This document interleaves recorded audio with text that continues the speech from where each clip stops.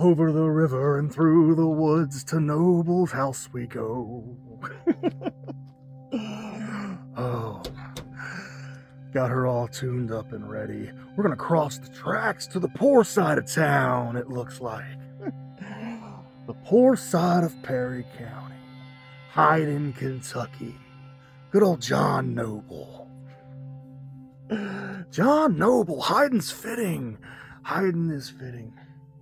Seeing as how that's what most of the people should be doing with their faces in. Hiding them. That's what most of them probably will be doing. They'll probably be hiding their faces. Because hometown hero. It's been a while, John. It has been a while. What a better way to get reacquainted than in your own backyard. A good old backyard schoolyard fight. There's a difference between you and me, though, John. While you've been coaching ball and tending to the kiddies, I never stopped doing what I was doing. I never stopped fighting. I'm still in my prime.